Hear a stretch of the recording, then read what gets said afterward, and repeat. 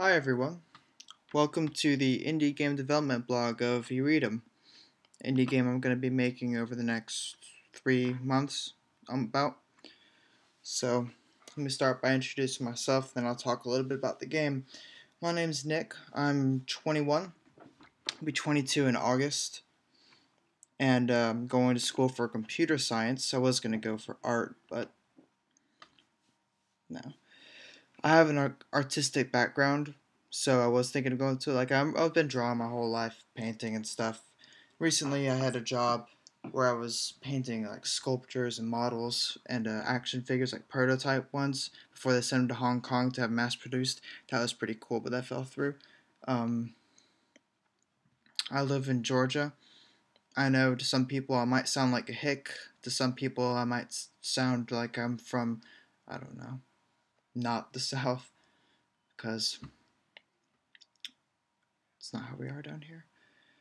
But, anyways, yeah, I'm going for computer science. So, needless to say, I'll be doing most of the programming on this game myself. Um, about the game. The game, like I said, is called Irritum. I think that's how it's pronounced. It's a Latin word for void or nothingness. And pretty much what the game is, it's a 3D platformer where the player can only be touching one plane or existing on one plane at a time. Each plane is uh, represented by a color. So let's say your player is standing on the red platform and there's a blue one over here he wants to get to. To get to the blue one, you know, most times you could jump to it, but if you are only activated with red, you'll fall through it. If you activate blue while you're still standing on red, you'll fall through it. So what it boils down to is you gotta jump in midair, change the color from red to blue, land, and then you're happy. Obviously, it's it gets more complicated than that. You know, all but all platformers are pretty much the same way. I know some people are gonna be thinking it's a 3D, it's a 3D platformer. I mean, it's gonna suck, but 3D platformers aren't inherently bad. It's just that a lot of times the execution's done very poorly, and I think I can avoid a lot of those pitfalls. And a lot of it also boils down to the nature of the game to the nature of the design, the graphics, the gameplay, so we'll see how it goes. I don't think there's going to be much of a problem, but I guess we'll find out. Um, some people may be asking why I'm going to be putting this on YouTube. Um, one reason is to make a connection to the people who are going to be playing the game. Whether it's one person or a million, I mean, that'd be fine with me if it's one. As long as somebody sees the effort, the determination, everything that I've been through to create this game, I'll be happy.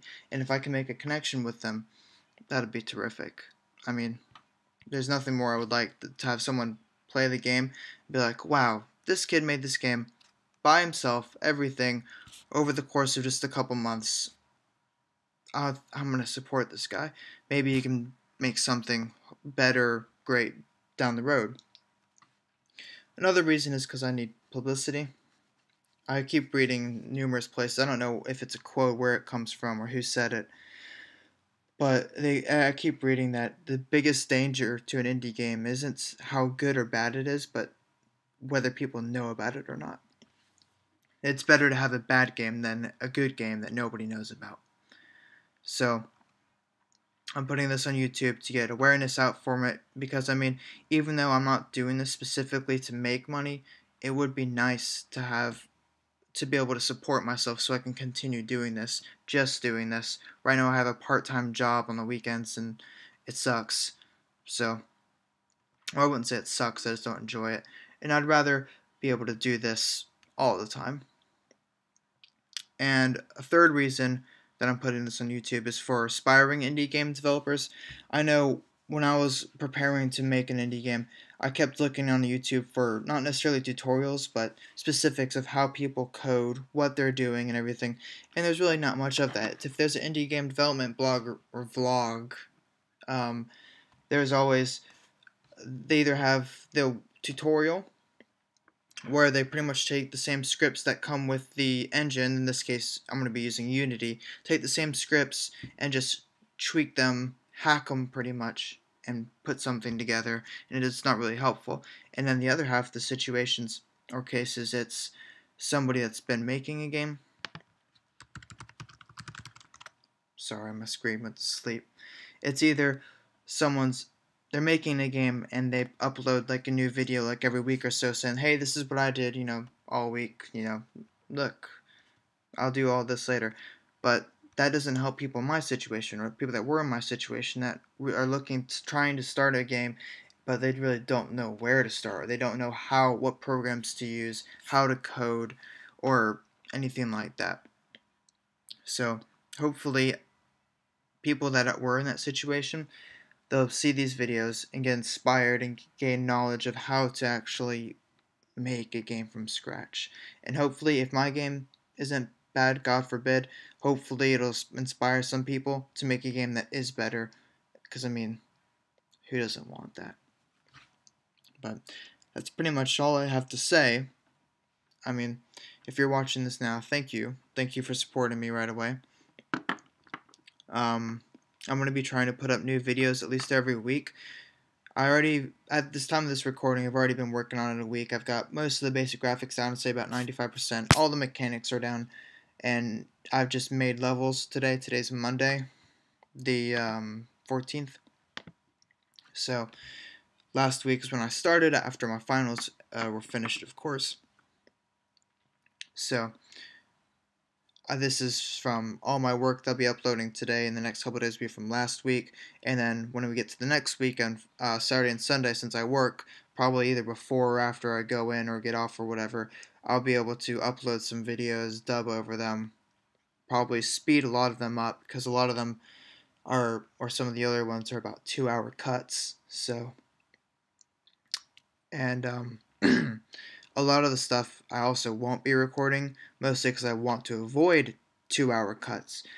So like um with my player controller, I had some trouble getting a lot of the animations. Most of them are working fine now. Most most of the running around and everything, but I was having some real trouble getting them to sync up properly, to getting the player to rotate the right way. It sucked. So I only recorded I think about half an hour, about um, a couple couple seconds or minutes of footage after I get something work or when I start trying to fix something else, I record that. But then I've, I have about another hour where I just type stuff and getting trying to get something to work, and usually it just comes out of nowhere. So I know some people may be frustrated with that, but I mean, honestly, if if if you want to see that, I mean, it's not gonna help. It wouldn't in any way. So thank you guys for watching. Um, like I said, I'll be putting up new videos every weekend. Please, if you want, you can write me. If you guys are um, want to know anything more about the game, I'm probably gonna be putting up a new another video right after this, uh, detailing more specifics about my plan. So if you guys have any questions, leave a comment, write me a message. Check out Blogger. I'll probably link that so somewhere. I don't know, corners or whatever. I don't know. And um, yeah. Till next time.